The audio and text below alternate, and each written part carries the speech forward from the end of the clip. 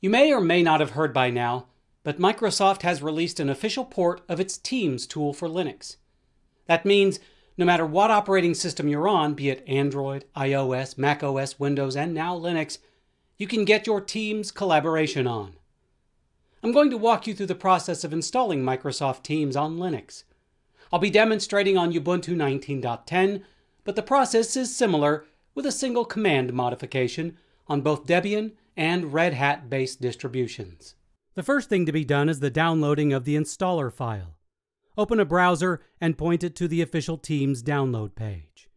Click on either the Deb version for Debian based distributions or the RPM version for Red Hat based versions. If you are prompted to install via the GUI method, click OK and, when prompted, type your user's sudo password and allow the installation to complete.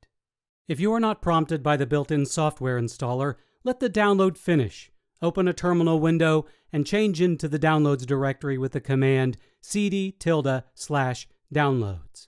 Install Teams with the command sudo dpkg-i teams star.deb. If you're working on a Red Hat based distribution, such as Fedora Desktop, the command would be sudo dnf install teams star.rpm or sudo rpm-i teams star.rpm. The installation command should complete without issue. Once finished, you're ready to launch the application. Once Team launches, type your Microsoft account email address in the required field. Click Sign In, and you'll be prompted to sign in a second time. Click Next and, when prompted, select the team you want to connect with for collaboration. Click Continue, and Teams will finally open, and you're ready to get to work.